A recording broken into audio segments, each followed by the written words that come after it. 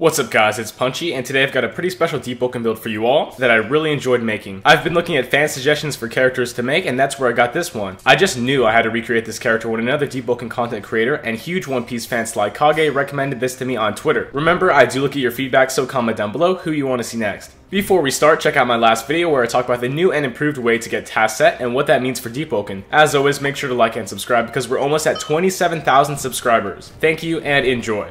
Today's special character is the stylish and hot-headed cook of the Straw Hat Pirates, Sanji Vinsmoke. If you don't know anything about One Piece, Sanji is well known for his fiery kicking style and pride as a cook because everybody knows your hands are meant for cooking, not fighting. His true passion is cooking and you can't dirty your hands if your goal is a chef. So, Sanji's attacks are fast kicks and flaming kicks and to be honest they're all pretty similar, but what you gotta know is that he throws a lot of hands. I mean, feet. But how would he work in Deepwoken? Sanji can be made a ton of different ways, but because of his blonde hair and crazy eyebrows, Canor was the obvious choice for me. For his appearance, I decided to recreate Sanji based off his outfit in the Whole Cake arc. He's supposed to look all rich and elegant for his wedding, and I felt like this fit best. The brilliant cape and white Vigil's cloak were perfect for the image I wanted to portray, and I think it looks great. For some, Sanji is pretty easy to describe, but he actually has a ton of attacks that I didn't use. Many of his skills fit in Deepwoken, and there are a few that I wasn't lucky enough to roll, so there's massive room for improvement. Comment down below how you'd make Sanji in Deepwoken. Our Sanji build is a fully maxed out hybrid build that's fairly balanced. I've got 25 strength, 25 fortitude, 40 agility, 5 intelligence, 25 charisma, 50 gale breath, 80 flame charm, and finally 75 in light weapon. Last time I did a hybrid setup too, and I've got to say it's really fun. Sanji Vinsmoke is quick on his feet, and I mean really damn quick. Usually jumping around, kicking people's heads, and flying into the air, Sanji uses a fighting style called Blackleg, which is very unique. In Deepwoken, Jus Karita is most likely inspired off of this style, and it helps us a lot. The blazing fast speeds of Jus Karita and its jumping critical make it an obvious choice for our character. Let's get into our abilities that make this character unique. Sanji spins around so fast that his feet catch fire in a form called Diable Jambe.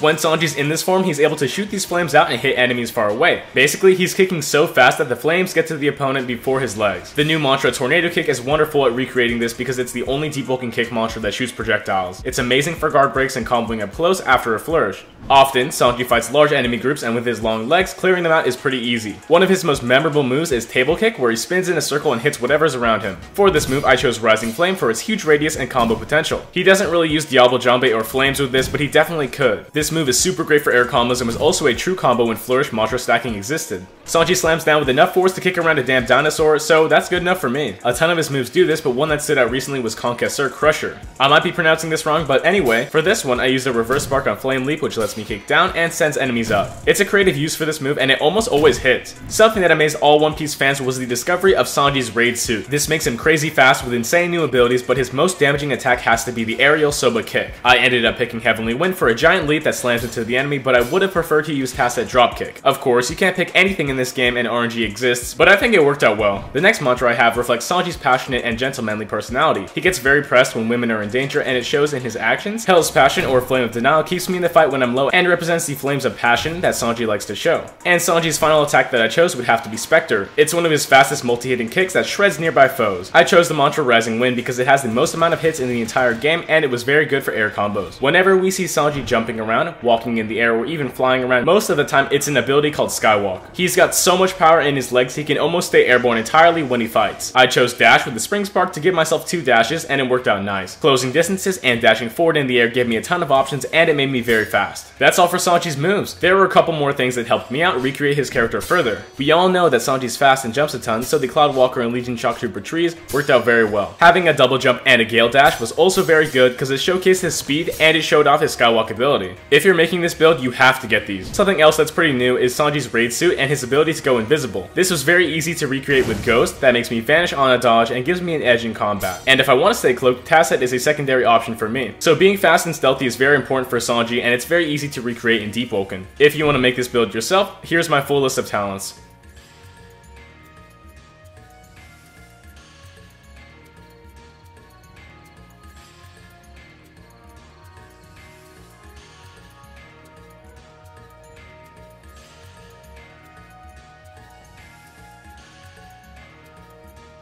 Honestly, I love doing this build and it was very fun to make, so go check out some fights from our beloved Sanji Vinsmoke.